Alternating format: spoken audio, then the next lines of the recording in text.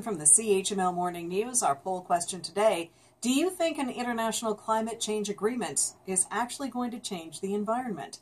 You can vote on our website at 900chml.com and join the conversation on our Facebook page and Twitter.